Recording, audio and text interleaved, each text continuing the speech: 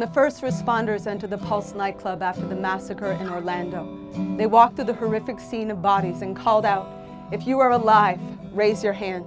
I was sleeping in a hotel in the Midwest at the time, but I imagine in that exact moment, my hand twitched in my sleep, some unconscious part of me aware that I had a pulse, that I was alive. The next day, I woke to the news that an assault rifle had fired 202 bullets through a gay bar on Latin night in one of the worst massacres in U.S. history. A massacre of people who did not leave the dance floor when they heard gunshots because they thought they were just the beats of a song. Everyone around me spent that day grieving, and every tear was someone's dance sweat drying in the morgue.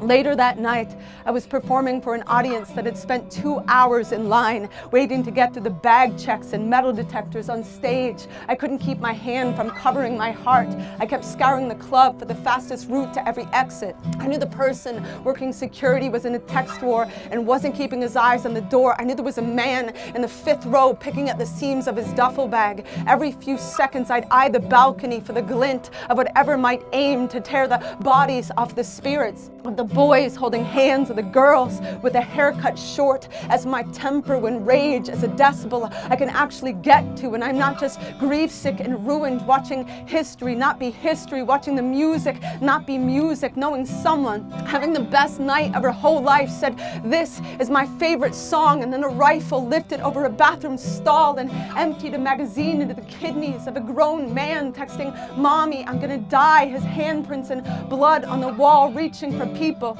dying in the fetal position, people covered in their friends' blood, sobbing too hard to hide from their own deaths, while people outside push bandanas into bullet wounds. It's true what they say about the gays being so fashionable. They're ghosts, they never go out of style, even life. It's like funeral practice. Half of us already dead to our families before we die, half of us still on our knees trying to crawl into the family photo. That night on stage, I kept remembering being 15 at Disneyland, wearing my best friend's hoodie like it was my boyfriend's class ring, how many years it took me to just touch her face, how many years I spent praying my heart would play dead till the threat was gone, till the world changed, till history was history, but history just keeps coming for the high, keeps shooting up bodies, keeps drumming up reasons to have metal detectors at poetry readings for the poems. They're just unanswered calls who people who claim their God or their apathy is unwilling to accept the charges. Dear God, how broke do you have to be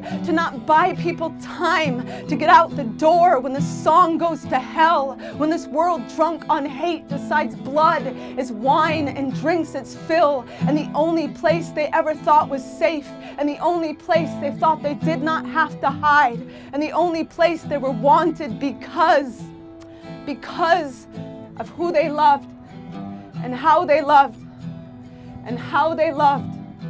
till someone walked through their bodies and asked who was still alive, and hardly anyone put their hand up